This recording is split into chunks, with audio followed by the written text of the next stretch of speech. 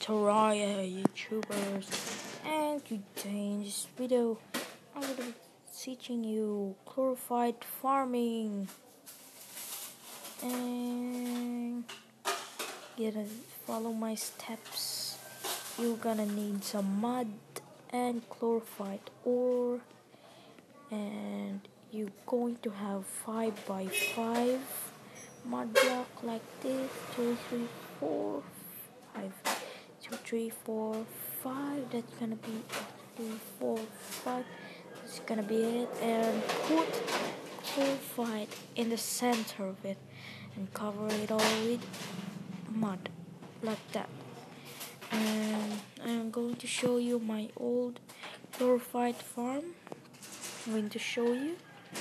That's hopefully gonna work. I'm going to show you my old chlorophyte farm here.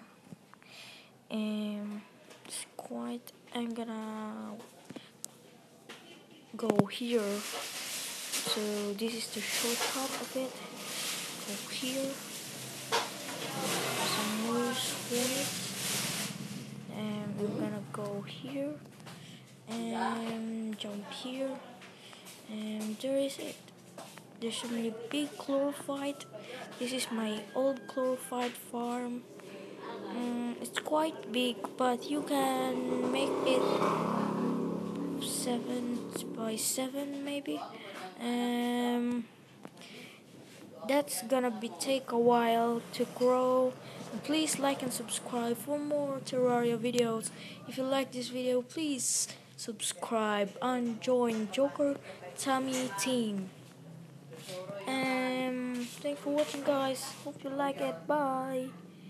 Pew.